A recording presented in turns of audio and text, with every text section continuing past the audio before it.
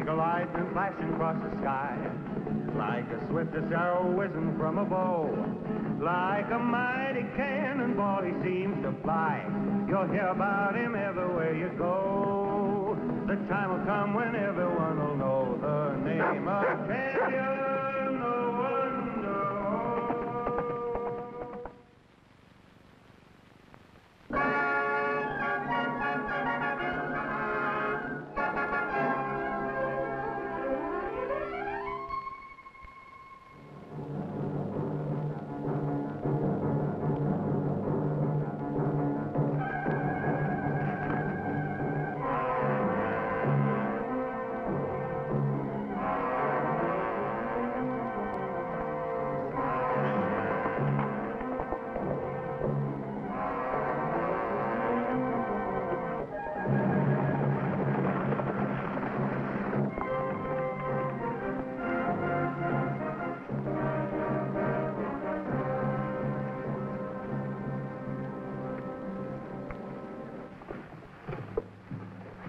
Running Bear's teepee's honored, Sandy.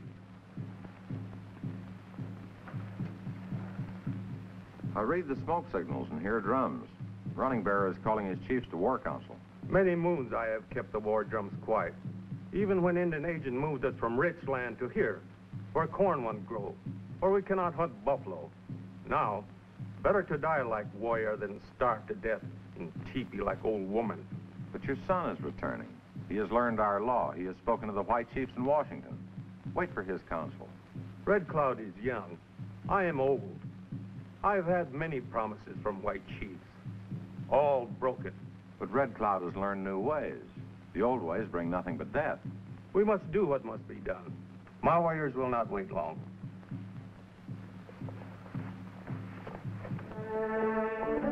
Stay back, Rebel, till I whistle.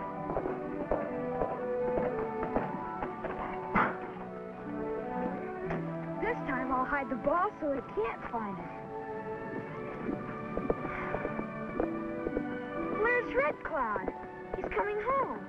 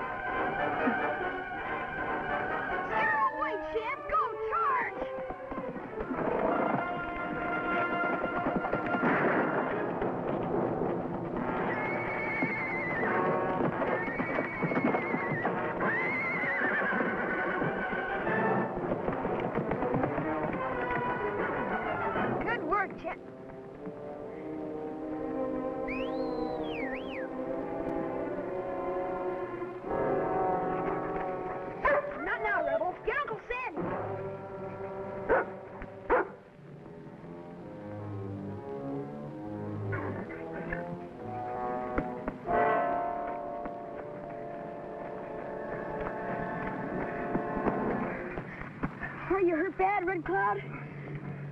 I don't know. But I know that was Cal Blake. Say, it did look like Blake, but why would he try to hold you up? I haven't any idea. You just stay quiet. Rebel's gonna get Uncle Sandy. Okay.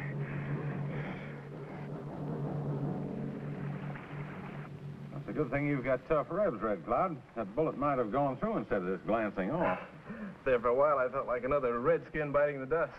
Running Bear does not laugh. My son has been too much with the white man. My father allowed me to learn the white man's law. The one who did this will be punished by that law. Are you sure it was Cal Blake, Red Cloud? Yes, I saw his face when I pulled the mask down. And it looked like Blake to me. What are you going to do? Follow due process of law. Swear out a complaint for assault with a deadly weapon with intent to commit murder. Well,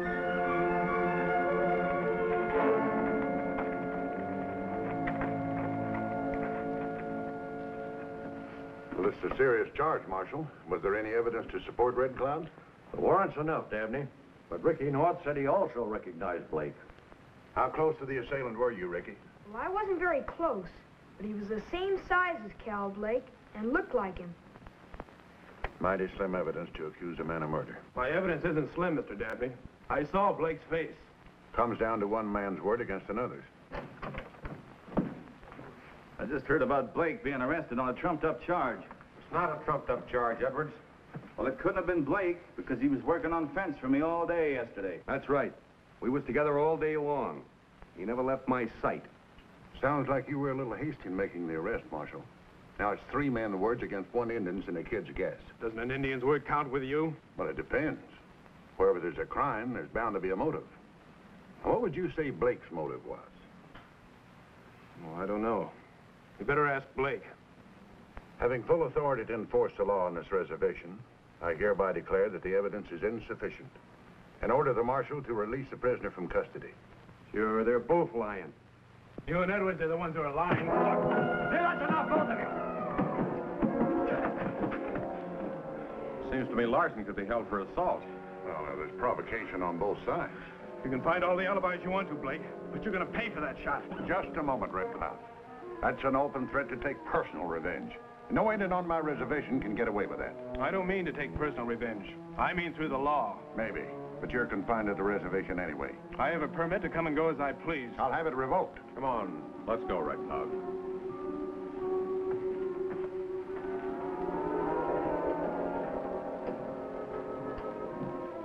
Oh, Marshal, aren't you forgetting to take off those handcuffs?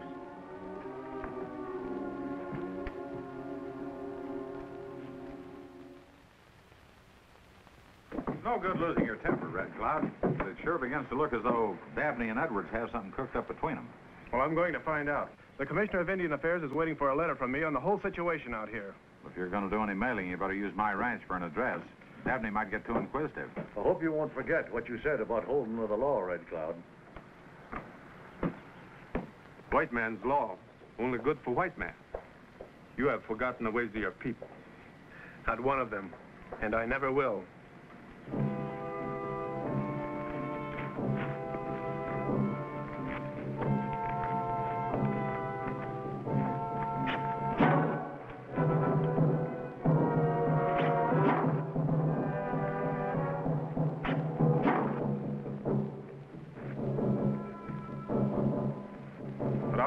Must be one with a white man's law, not with weapons.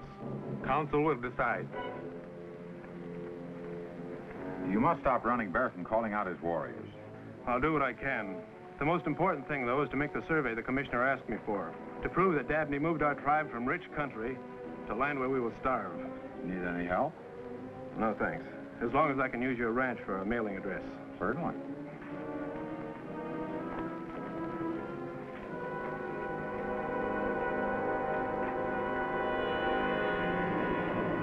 Got nothing to worry about, Blake. No? You think that alibi fooled Sandy North, or the marshal, or that educated Indian? What difference does it make? Dabney's the law here. He ain't the law in Washington. You and Dabney, you're both scared of Red Cloud, or you wouldn't have sent me out to bushwhack him. What can happen? I might get a tomahawk or an arrow in my back one of these days. I better hit the breeze. Hey, Blake, where can you get as good pay as you're making here? Stick around. Edwards and I'll take care of Red Cloud. Better make it quick, or I won't be here. If he gets away, you know it's only a matter of time before you'll talk. He's not getting away. Neither is Red Cloud going to keep stirring up trouble in Washington.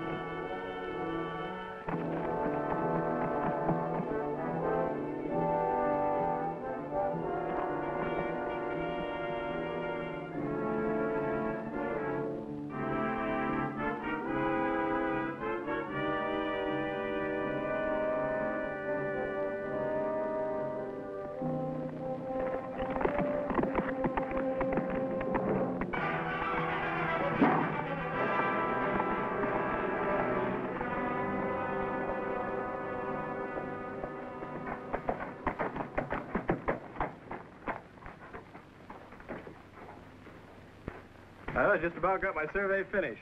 That's not all you got. A letter came for you this morning from Washington.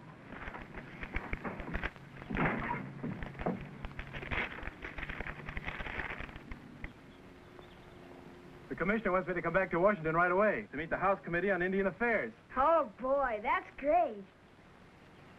But he also says, copy of this letter sent to Mr. Dabney with instructions to make arrangements for your transportation. That's not so good. Dabney may find some way of stalling. I don't think he'd dare go against the commissioner's orders. Well, you never can tell. I'll ride back to the Indian Agency with you just in case. Thanks, Andy. I wish I could go. Well, now, we might be able to get along without you. But I don't think the rest of those dishes can. Okay, Uncle Sandy.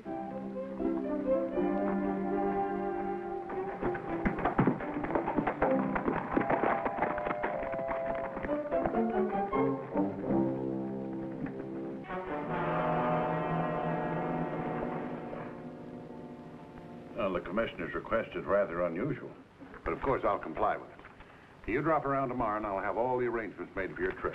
Tomorrow? I want to leave on this afternoon stage. Why, I can't possibly make the arrangements that soon. Well, delay isn't going to do you any good. I'm going and you can't stop me. Sure you're going, but you're not telling me how to run my office. Dabney, I'm beginning to think you're afraid of what Red Cloud will report when he gets to Washington. I'm getting tired of your interference, North. So you were going to abide by the law and not take revenge on Blake. What happened, Edwards? You tell him, Marshal. Edwards found Blake dead out in Mesquite Canyon by Sentinel Rock. I went out to get him, and he had this arrow in his back. Before I found Blake's body, I saw Red Cloud riding away from Sentinel Rock in an awful big hurry. Are you trying to accuse Red Cloud? Trying? Why, you all heard him threaten Blake.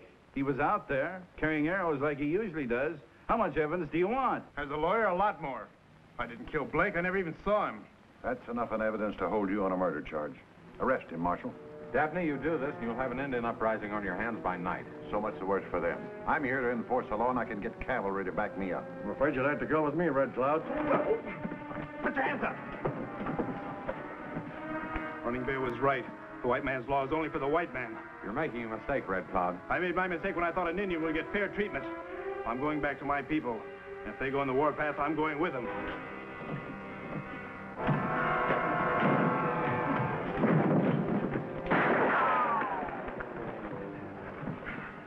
Now, you still think you can civilize an Indian, Sandy? Take him away, Marshal. I'll set the trial for 3.30 this afternoon. That won't be necessary, Marshal.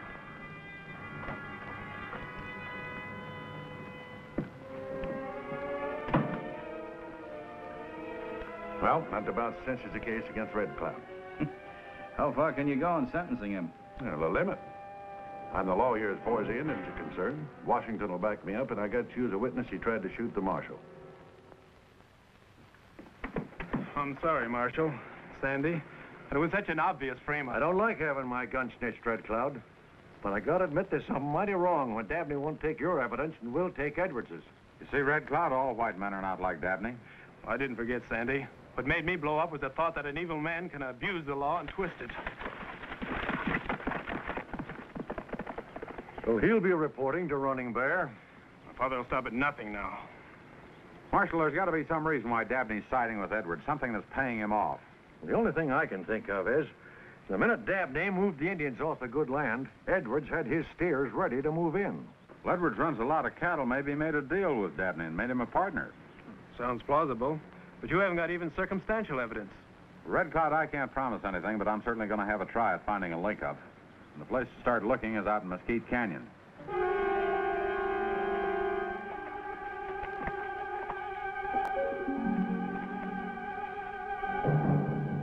We have waited long enough.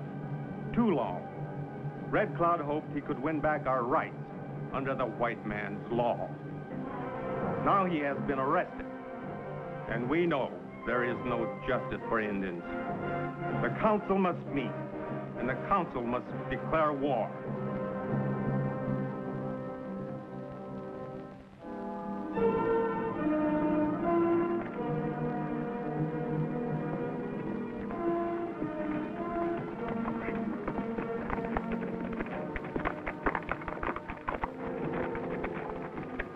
You know, if Blake was killed over by Sentinel Rock, The arrow must have come from around here somewhere.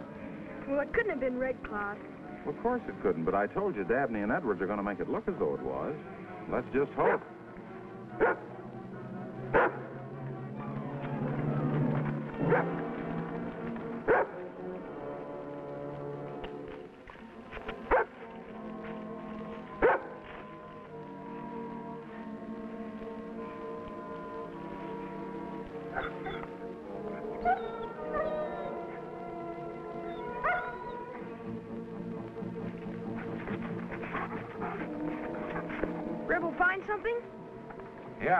marks and cigarette butts.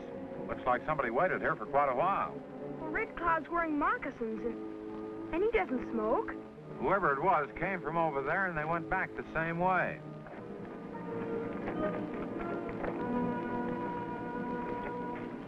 Hoof marks. When he got here, he must have mounted a horse. We follow the trail? Easy. Be right with you.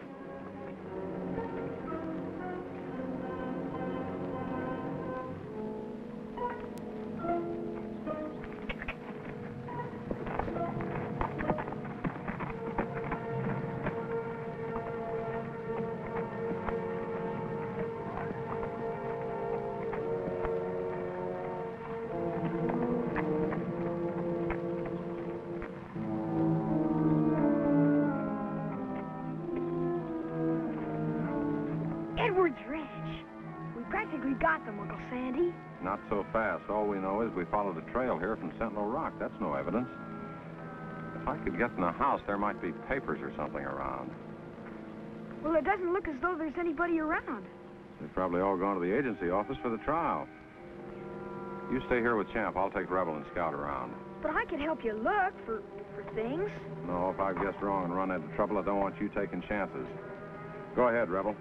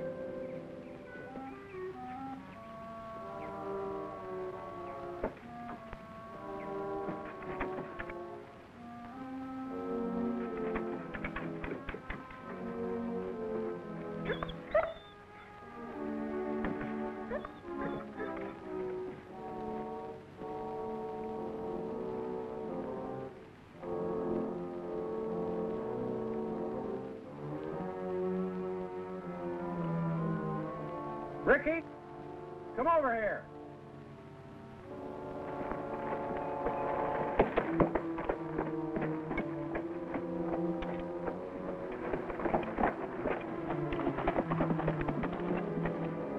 Hey, look what I found.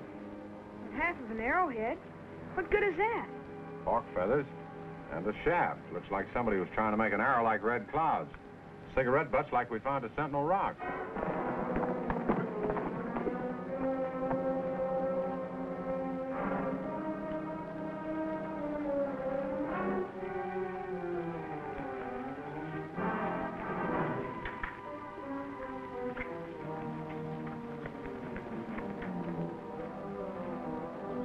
Now we're sure, aren't we?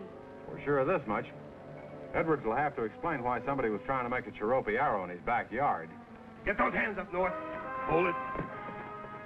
All right, North, you start talking first. Looks to me like you're figuring on robbing the place. You, kid, get on off that Mustang. Get out! Go on, Ricky. Take those things to Red Cloud. Come on, Jim!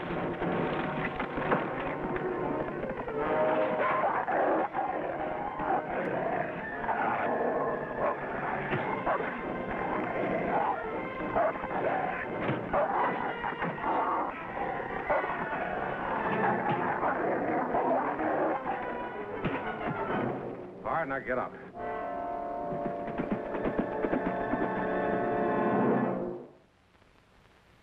Red Cloud, you're charged with one count of murder and one of violent assault on Marshal Hale.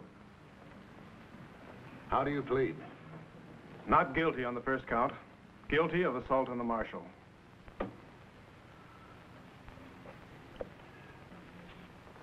Mr. Edwards, can you identify this arrow? Sure. It's a Chirapi arrow. And it killed my foreman, Cal Blake. The same kind of arrow that the defendant Red Cloud was carrying? I object. That's a leading question. Objection's overruled.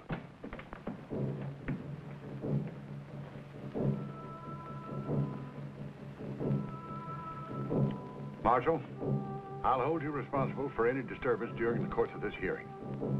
Now, you saw Red Cloud at the scene of the murder? Yeah?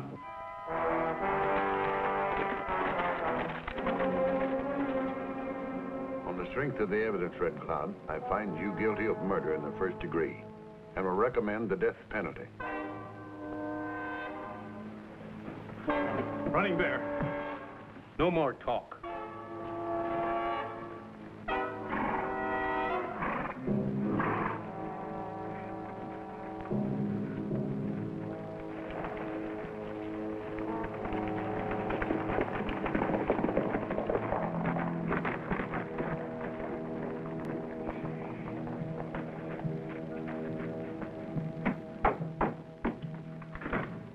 Marshal Hale, Red Cloud, Uncle Sandy found these things on Mr. Edwards' ranch.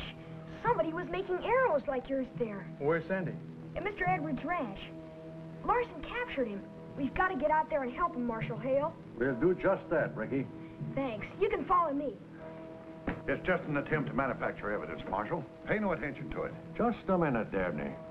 You run this Indian agency, but it's my job to decide if there's evidence of a crime, especially off the reservation. What are you going to do about it? Like I said, go out and get Sandy North. But you've got a dangerous prisoner to watch over. Don't worry about that, Marshal. I'll come along with you. All right, let's go. No use, Dabney. We got too much working against us. Their evidence isn't worth a hoot. Well, I don't know about you, but I'm getting out of the territory while I can.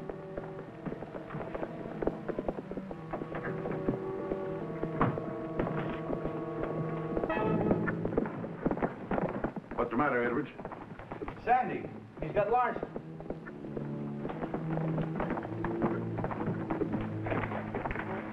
Marshal, our friend Larson here turned out to be quite a storyteller. He's got a very interesting story to tell about the deal Dabney made with Edwards and why he cheated the Indians out of their land.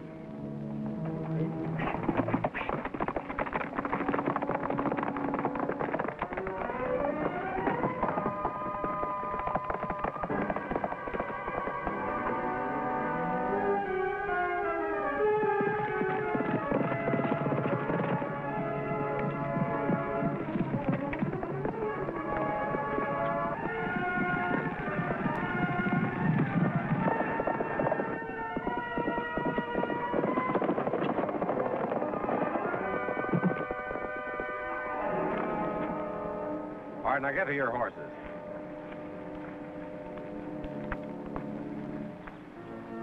I'll hear the rest of the story when I get back, Marshal. Where you going? If I get to Running Bear in time, there won't be any Indian uprising.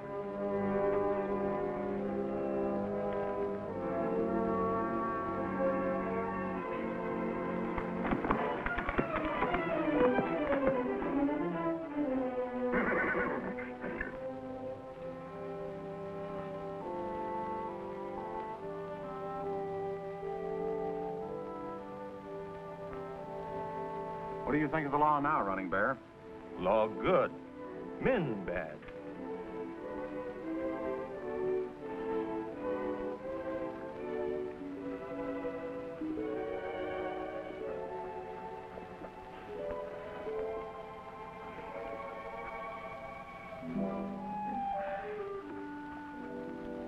Rebel should be in on this.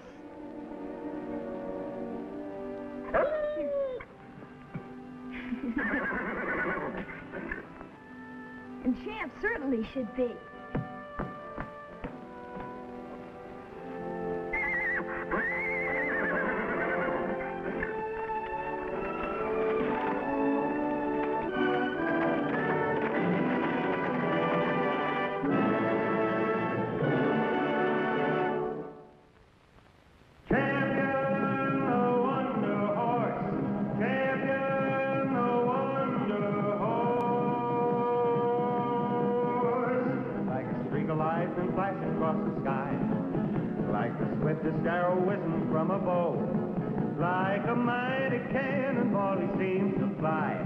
Like a